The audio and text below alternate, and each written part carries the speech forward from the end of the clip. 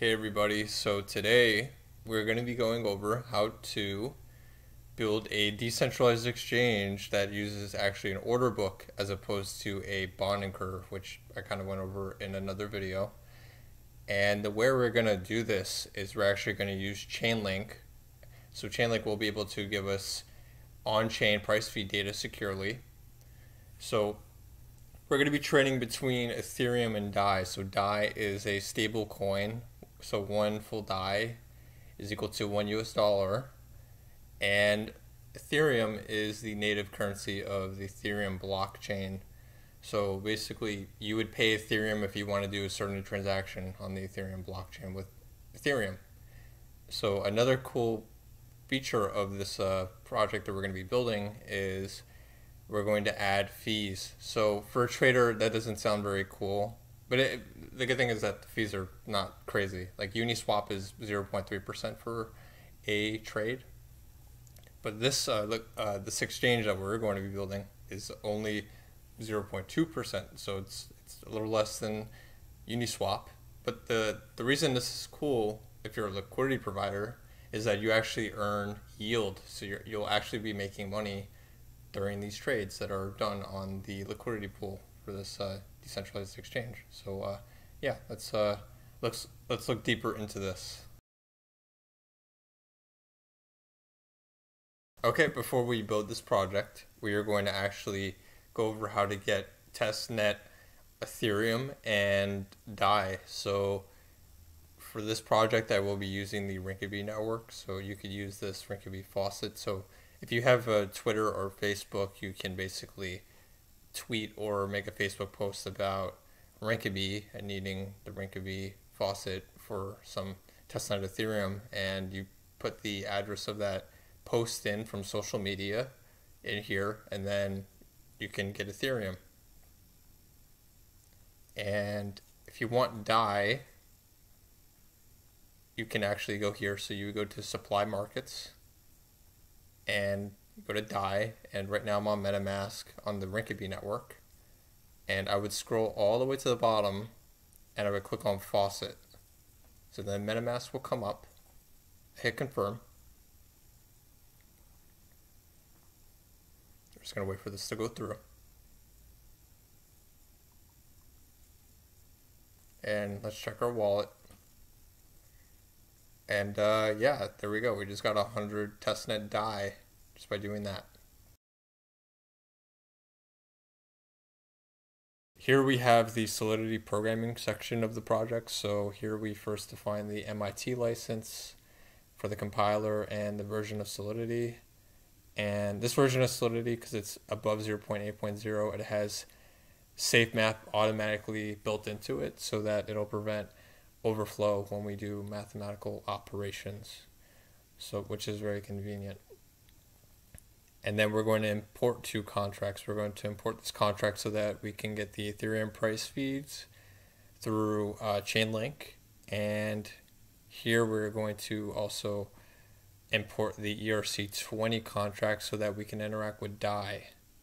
And we pass that information into the constructor here for DAI, the name and the symbol. Okay, so this is the main contract for the project. So here we're going to define the Ethereum price feed, which is based off of the aggregator v3 interface. And this constructor is going to define the Oracle address for the Ethereum price feed on Rinkeby. And here we're going to have a function where we get all this data about the Ethereum price feed, but we only really need the price information from the price feed. So a few things to note about this is that we're going to treat it as a unsigned integer as opposed to an int so that we can do uh, several different mathematical oper operations with it easily. Um, if you don't do this, uh, some of the math that has been done in this contract will not compile. They'll throw an error because of the data type. So that's why I have made it a uint and I converted it. So basically, if I, if I just had it like this, it would just convert it automatically. But I also scaled it up so that it would be compatible with the uh, DAI balance for the trades that we're going to be doing. So here, what I'm doing is I'm actually scaling it uh, 10 to the power of 10. So 10 times 10 to the power of 10. So yeah, so in Solidity, um, instead of using a caret for exponents, you use a double asterisk. Okay, so now we're going to define some variables. So this is the liquidity pool address. That's basically the person that's uh, the person providing the liquidity to the pool. And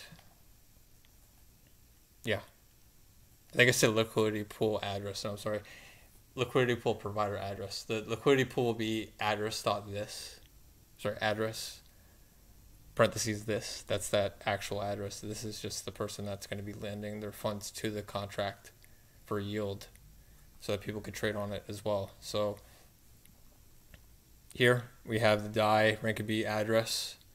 So we pass this address into the ERC20 contract. And this token DAI object will allow us to basically use all the ERC20 functions such as approve and uh, like get balance or balance of or allowance. So now we have the modifier for checking if you are the liquidity provider. So if that's the case, then you can proceed with the function that is questioning that. So like for example here, here you have that, but here you don't. So to speak. So if it's true and you're if you're the liquidity provider connecting to the uh, contract, then you shall be able to interact with this function.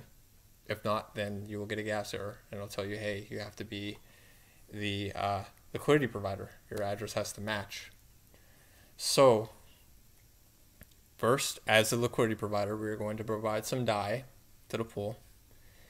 And so, what we're going to do is we're going to see, hey, do you have enough DAI? So, for this contract, we uh, have it as 3,700 DAI. So, 3700 DAI is equivalent to $3700 and i have this scaled up here because uh, DAI can also DAI has 18 decimal places so we scale it up so that you know you have it to like one dollar so to speak. So if i had like one here it would you know be one dollar. But if i go back it's $3700 so that's why we do that. So we're going to say we're going to ask hey do you have this uh, balance of DAI in your wallet as a liquidity provider? And if you do, did you allow this through the ERC20 contract? And if both are true, then the contract will take the 3700 DAI from the liquidity provider and hold it within the liquidity pool. Okay. And then next, what we're going to do after that is we're going to basically allow a trader, any trader, on Ethereum will be able to basically sell one Ethereum and exchange it for DAI. So we're going to see, hey, are you sending one Ethereum? You need one Ethereum and message dot value to uh, do this. And then we're going to check the pool. We're going to ask the pool, hey, do you have enough DAI to cover this uh, exchange?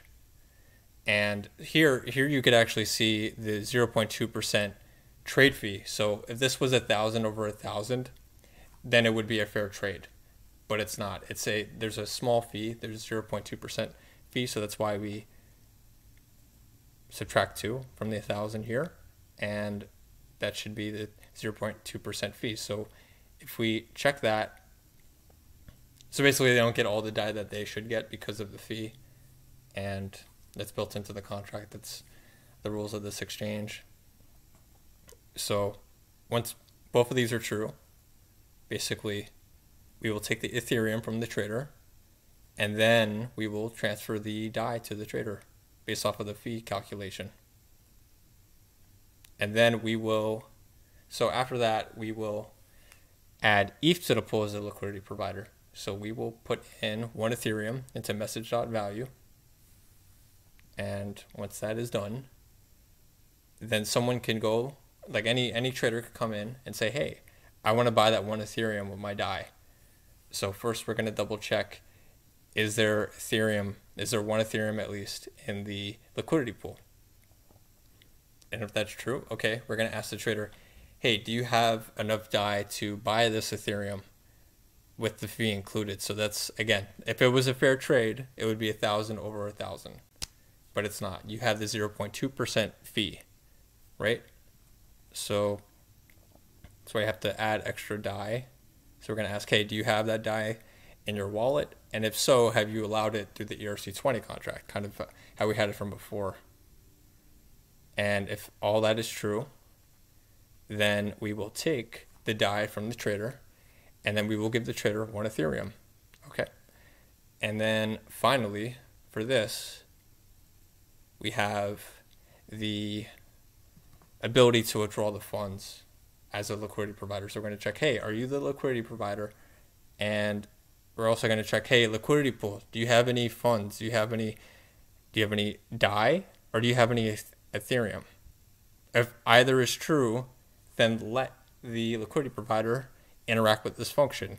So the reason I put this check in is because if you don't put this check in and someone executes this function, they're going to be wasting Ethereum executing it because it's like, hey, wait, why am I doing this if there's no money to be withdrawn? So it's like, that's why this is checking, hey, contract, do you have any money? if you don't, then don't let the liquidity provider touch this because it, it wouldn't make sense. The person's just going to burn gas for no reason. Um, a few things I want to just re-emphasize. So here is the, so for the math here, this was basically the Ethereum price feed. So I kind of skipped over that when explaining the percentages, but yeah, so basically we're just scaling this based off of the fee that we have. And I think one last thing I want to add is that for adding the liquidity, so in this case you could do kind of one or one A or two A interchangeably, it doesn't really matter. But one thing to note is that if you were doing a like a general um, bonding curve type of liquidity pool, you would generally need to uh, stake or provide the liquidity of both assets at the same time. That's not always true. There's some exchanges like Bancor which have a mechanism or algorithm or contract. They have a special way of having it so you can only or you have the option of only staking one type of asset in a pool. You could you could theoretically still dual stake or double side stake, however you want to say it, um, assets on Bancor, but they also give the option to do that. It's it's a little complicated. They I think they have like some type of Bancor like dedicated for the pool that someone will take eventually. Okay, so now we're going to do the demo for the project. So first we're going to send DAI to the pool as a liquidity provider. So let's try that. So before we do that, again, we have to approve it to the contract address. So we're going to approve 3700 DAI. So we scaled it up because of the fact that there's 18 uh, decimal places for DAI by default. So we have to scale it. So we're going to approve. We're going to confirm this in MetaMask.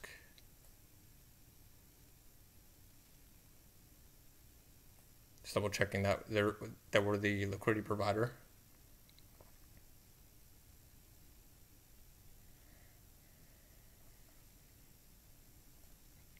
And now we could send the DAI.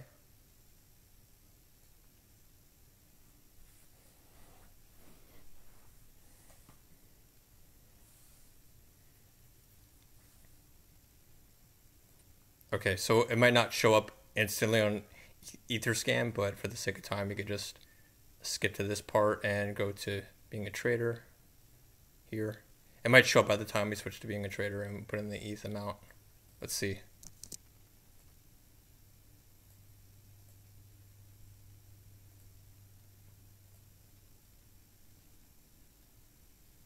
Okay, it didn't show up yet, but technically you could send the ETH because it detected it already with the DAI in the contract. So let me just let's just wait. Should take a second. Okay, yeah, there's the DAI. 3700 DAI, confirm. So we're selling Ethereum for DAI at a 0.2% fee.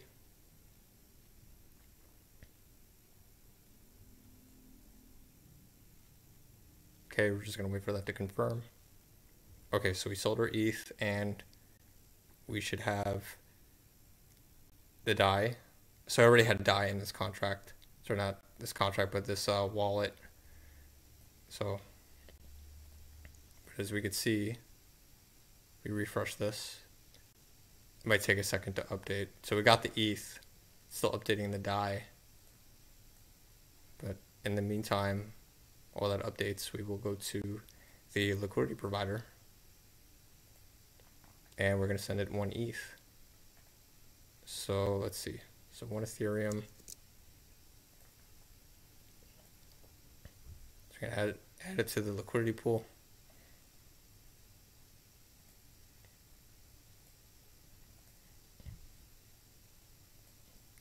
So we should see two ETH in a second. There goes the DAI. We sent it about 3,400 DAI, I think, roughly. So we had 3,700, so the difference is about 300, a little less. Okay, so we have two ETH. So the liquidity pool gave in the ETH successfully. So now we're going to go back to being a trader.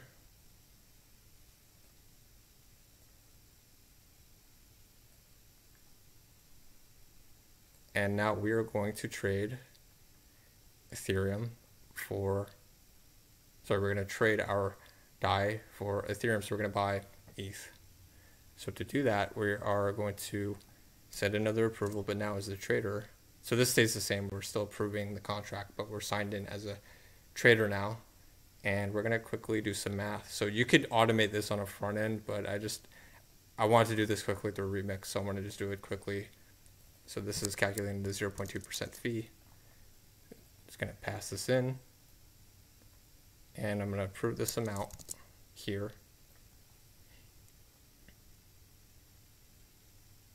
Okay. So we're just going to wait for that to get confirmed. And as soon as that confirms, we will do the swap. Oops, I meant to do the swap, not withdrawal. My mistake. So, okay, that worked. Getting a little ahead of myself trying to withdraw as the uh, trader. That proves that uh, the modifier works for checking if you're a trader or not, though. So, okay. So we got our Ethereum, and we, yeah, so we, we uh, traded the DAI, and we got Ethereum. Okay, because we had like 4,000 before, but now we have about 700 DAI.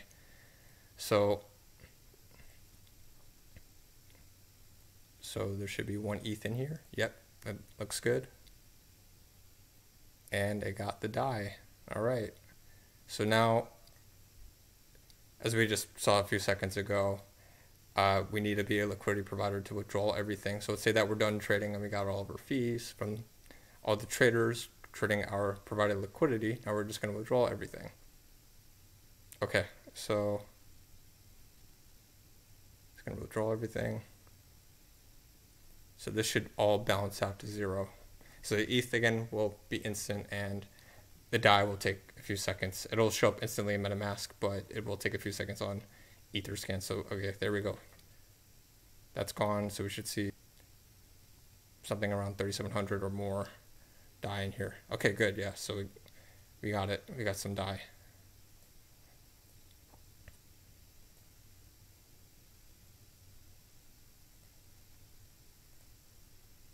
Okay, I just want to confirm this on Etherscan before we close the demo. Should take a few seconds, but it was like instantaneous in MetaMask, just so you know that it's fast. It just Etherscan is slow sometimes.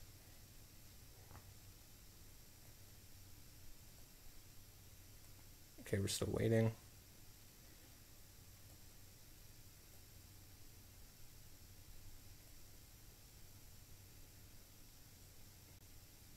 Okay, so it confirmed here, but